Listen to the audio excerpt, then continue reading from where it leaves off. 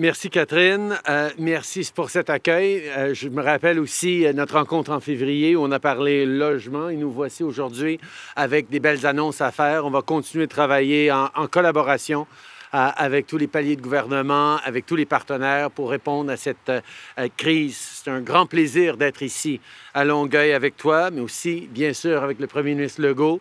on a fait des belles annonces récemment. On va continuer d'en faire parce que c'est en travaillant ensemble euh, qu'on va livrer. Euh, je veux aussi souligner évidemment la ministre France-Hélène Duranceau, euh, le ministre Fraser, notre député local Sherry Romanado aussi. on, est, on est bien rassemblés aujourd'hui pour une annonce importante. Mais avant de commencer, je veux dire que c'est avec horreur qu'on a appris ce matin des coups de feu qui ont eu lieu dans plusieurs écoles juives ici à Montréal la nuit dernière. Je veux être très clair. Nous condamnons cette violence antisémite dans les termes les plus forts. Cette haine n'a pas sa place, pas ici à Montréal, pas nulle part au Québec, pas nulle part au Canada. On a besoin de se rappeler de qui on est.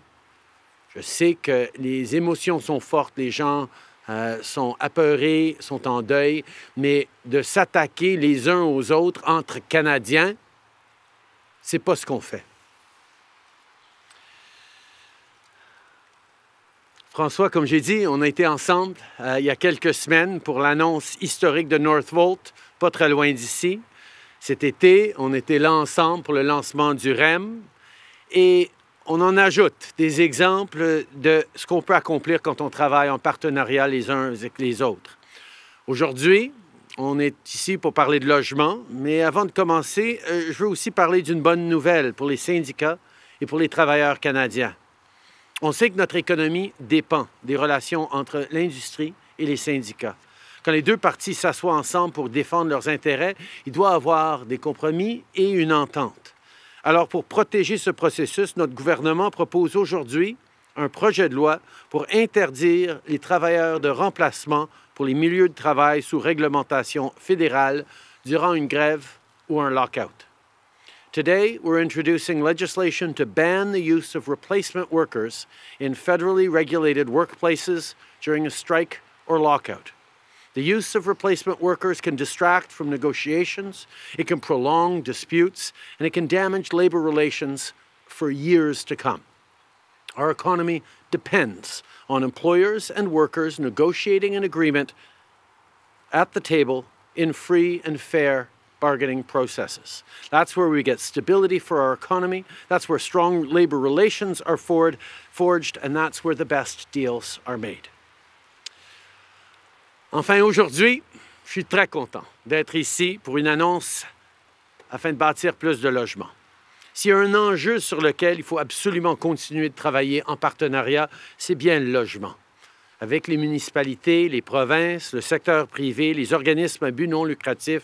C'est un effort de toute la société. Parce qu'il faut rendre le logement plus abordable. On travaille là-dessus sans relâche avec le ministre John Fraser et la députée Sherry Romanado et avec toute notre équipe. On doit ça aux jeunes, aux familles, aux personnes vulnérables. Tous les Québécois et l'ensemble des Canadiens méritent une chance réelle et équitable de réussir. Donc, il faut construire plus de logements plus rapidement. Et c'est exactement ce qu'on est en train de faire ici aujourd'hui. Aujourd'hui, on annonce une annonce, on annonce une entente unique au pays.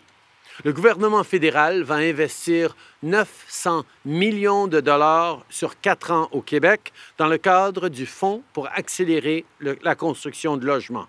Et le gouvernement du Québec va investir la même somme pour un total de 1,8 milliard de dollars pour construire plus de logements plus rapidement pour les Québécois. When we launched the Housing Accelerator Fund, we were clear that we needed to eliminate red tape and remove barriers. Well, this new agreement with the Government of Quebec will mean more ambitious plans right across the province to build more homes faster. Ce que le Québec a présenté et va continuer d'introduire comme réforme, c'est parmi les actions les plus ambitieuses qu'on va voir à travers le pays pour s'attaquer à la crise du logement, ce qui est une priorité partagée par nos deux gouvernements. We know we still have a lot of work to do to make housing more affordable, but today's agreement is a major step in the right direction. Not only will it fast track the construction of tens of thousands of homes over the coming years, it'll also provide funding to build thousands of homes for vulnerable people. Plus tôt, j'ai eu la chance de visiter des appartements derrière nous qui sont presque terminés. Ces nouveaux logements, qui ont été rendus possibles grâce à des investissements de tous les gouvernements, sont un autre bel exemple de ce qu'on peut accomplir en partenariat. Chantal Laferrière, la directrice générale de l'organisme Espoir, nous a expliqué le travail qu'ils vont faire ici pour loger et accompagner les personnes aux prises avec les troubles de santé mentale.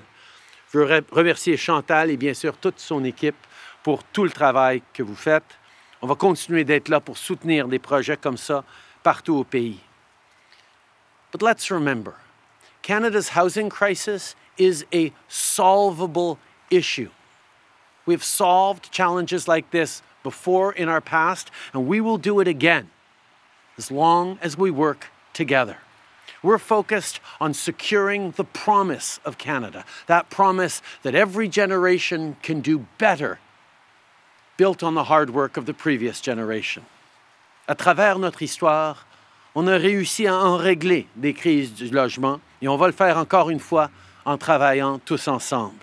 Le Canada, c'est le meilleur pays au monde. Continuons à travailler ensemble pour le rendre encore mieux. Merci. Je suis maintenant très heureux de passer la parole à mon ami, le Premier ministre Legault. François.